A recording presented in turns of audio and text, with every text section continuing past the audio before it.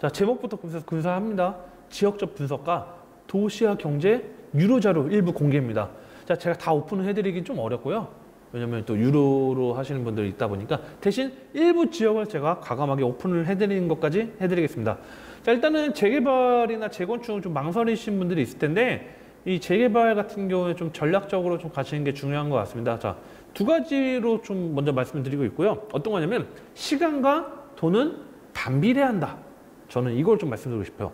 자, 자금이 많이 들어가는 것들은 좀 속도 빠른 것들은 당연히 비싸겠죠, 가격이. 대신 좀 안정적으로 들어갈 수 있는 거고, 속도가 당장 빠르진 않은 것들은 상대적으로 아직은 저평가되었거나 아직은 기대에 못 미칠 수 있기 때문에 상대적으로 투자 금액이 적게 들어갈 수 있습니다. 근데 저는 이왕이면 적게 돈을 들어가는 거좀 낫지 않나 생각이 좀 듭니다. 특히 요즘 같은 시기에는 당연히 작은 돈, 적은 돈으로 좀 투자하는 게 나는데 먼저 저는 세 가지로 좀 나눠봤어요. 어떤 거냐면 구역 지정 전후 단계를 한번 좀 측정 분석을 해보고요. 어떤 지역을 본다면 그 다음에 또 두 번째는 조합 설립 전후 단계를 보시면 될 것 같고 세 번째는 사업 시행 인가 이후의 단계를 보시면 될 것 같습니다. 그래서 이 구역 지정 전후 단계 같은 경우는 구역이 지정된다 또는 예정이다.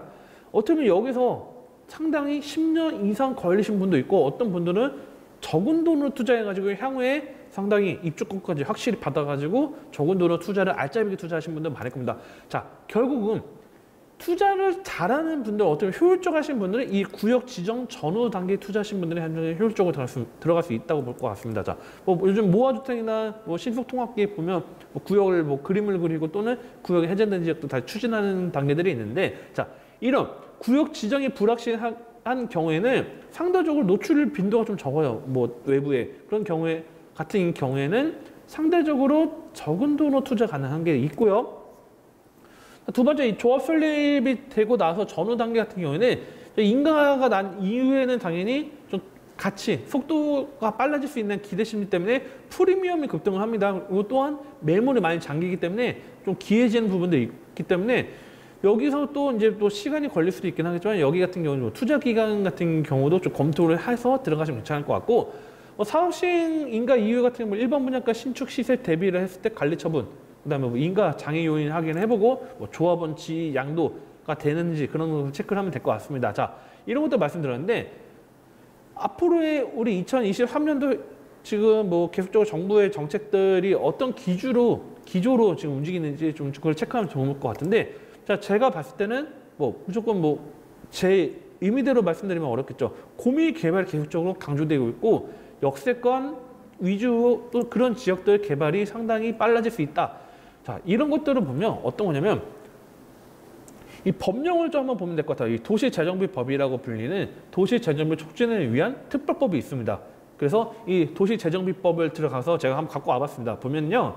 자, 2조를 보면 뭐 재정비 촉진지구에 대한 뭐 정의가 나와 있습니다. 그래서 뭐, 뭐 정의가 나와 있는데 가나다가 보일 겁니다. 가나다 중에서 첫 번째가 주거지형이 있어요. 주거지형이 노후, 불량주택과 건축물, 그리고 주거 환경 개선을 하고 기반시설 정비를 한다는 내용이고 나가 중심지형입니다.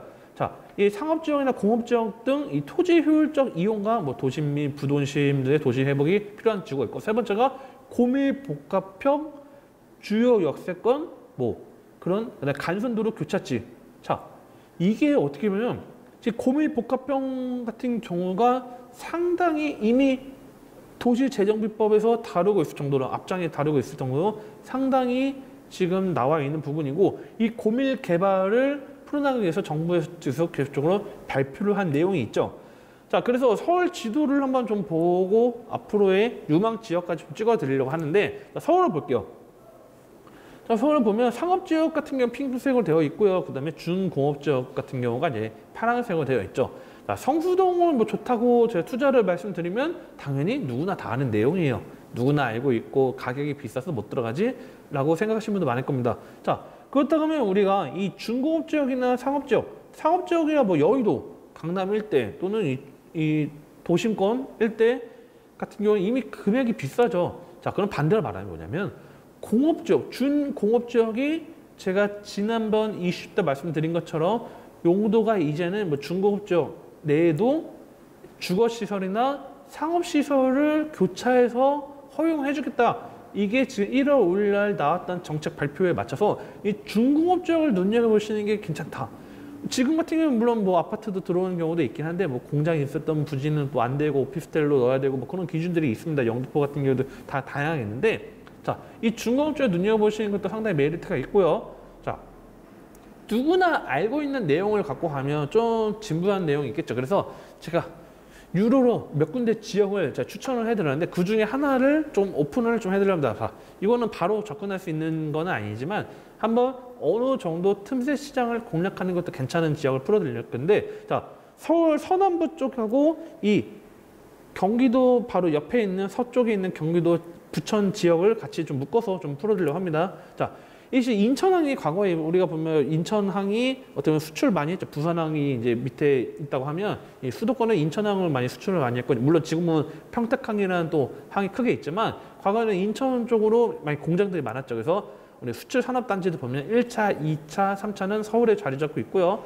4차, 5차는 뭐 인천이나 뭐 이쪽 라인에 자리 잡고 있는데 자, 이런 공장 지역들이 60년대, 70년대 상당히 오래됐어요. 그러다 보니까 물론 지식산업센터들에 많이 들어와 있고 뭐 구로 디지털단지 같은 경우 완전 변화가 됐죠. 근데 이 부천이라는 지역을 딱 보면요. 지금도 뭐 지식산업센터 짓고 있는데 상대적으로 입지 대비했을 때 공업 지역, 중공업 지역이 자리 잡고 있는 지역들이 있습니다. 자, 보면요.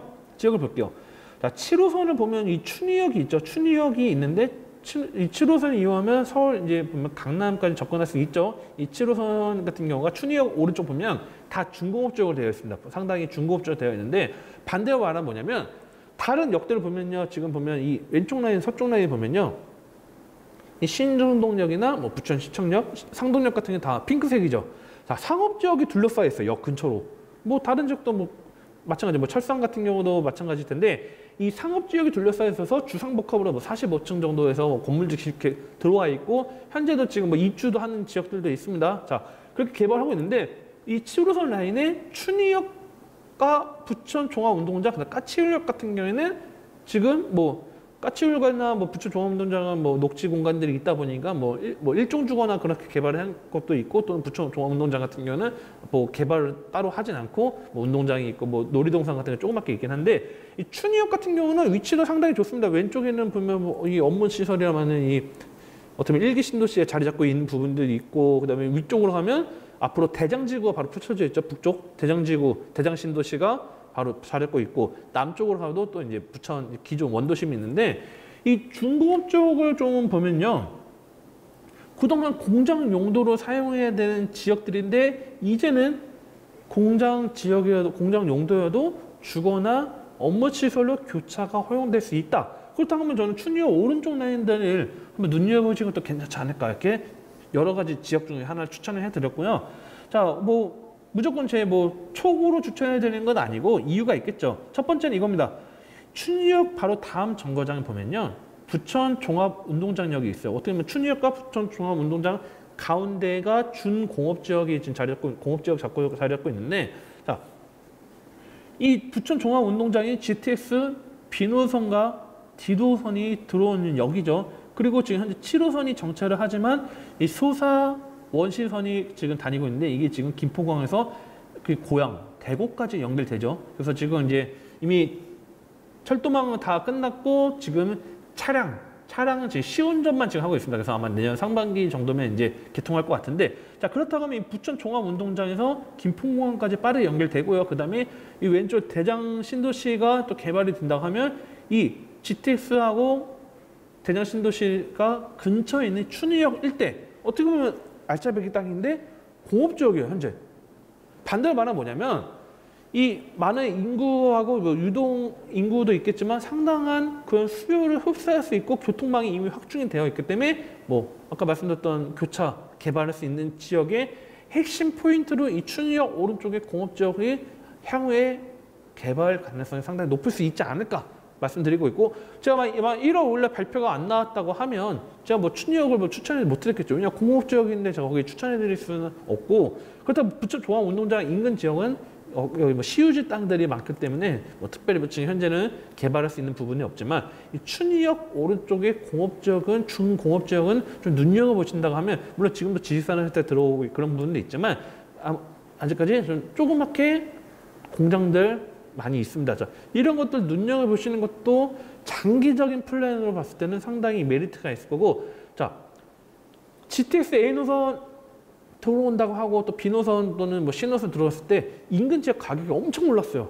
그런데 이 부천 종합운동장 같은 경우에는 인근 지역을 해봤자 바로 가깝게는 없고 물론 원종리나 또는 더 멀리 고강리 있을 거고 왼쪽으로 가도 뭐 아래쪽으로 가면 소사 같은 경우도 있긴 하겠지만 상대적으로 이 GTX B 노선, D 노선이라면 좀 상당히 가치 있지만 이미 CUG 땅에 자리 잡고 있기 때문에 상당히 가격이라는 거를 좀 영향 미치지 못했지만 이 출력 오른쪽 준공업 지역을 눈여겨보시는 것도 상당히 메리트가 있고 아, 그리고 저희가 뭐 또 다른 지역도 있습니다. 서울에도 좀 특별 특정 지역들이 있습니다. 서울 특정 지역들도 있긴 한데 뭐 다 오픈드리기는 어렵고 예시로 이런 공업 지역들, 준공업 지역들을 눈여겨보시는 게 좀 상대적으로 좀 장기적 봤을 때 무조건 그렇다고 무조건 중공업 지역 아무 데나 들어가시면 안 됩니다. 여기 이미 이렇게 지금처럼 교통망이 확충이 되어 있고 호재가 있는 지역들은 반드시 이런 교차 개발할 수 있는 가능성이 상당히 크기 때문에 물론 지자체마다 기준이 다양하겠지만 이런 것도 눈여겨보신다면 상당히 좀 장기적으로 선도한 투자가 가능하지 않을까 이렇게 좀 정리해드리고 도움이 되셨다 하시면 또 좋아요 구독하기 부탁드리고 또 다음 또 재판 이슈로 또 재밌는 이슈로 찾아뵙도록 하겠습니다.